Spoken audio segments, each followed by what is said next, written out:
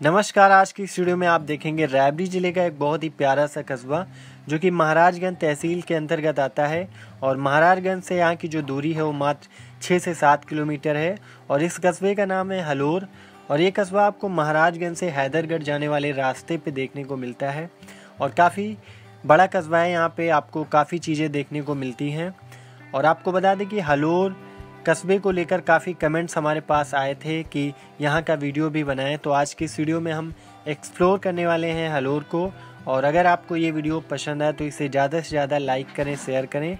और कमेंट करके जो बताएँ कि आपको ये वीडियो कैसा लगा। और चैनल पे अगर आप हमारे न्यू हैं तो प्लीज़ चैनल को सब्सक्राइब कर लीजिए। बेल आइकन को प्रेस कर लीजिए जिससे कि हमारी आने वाली वीडियो की नई नोटिफिकेशन आप तक जल्द से जल्द मिल सके।